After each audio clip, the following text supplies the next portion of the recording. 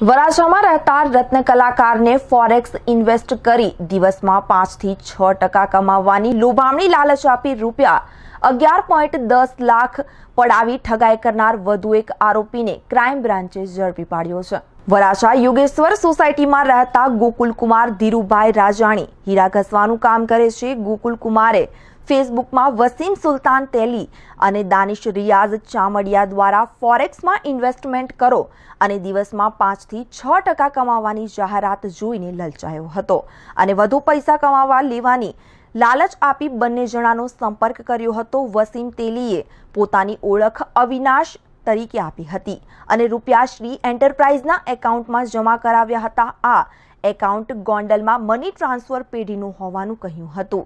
ગોકુલકુમાર પાસેથી પૈસા પડાવી બાદ છેતરપિંડી કરવામાં આવતા ગોકુલકુમારે આ અંગે ફરિયાદ નોંધાવતા સાયબર ક્રાઇમ દ્વારા શરૂઆતમાં વસીમ તેલીની ધરપકડ કર્યા બાદ ગઈકાલે દાનિશ રિયાઝ ચામડિયાની ધરપકડ કરી છે.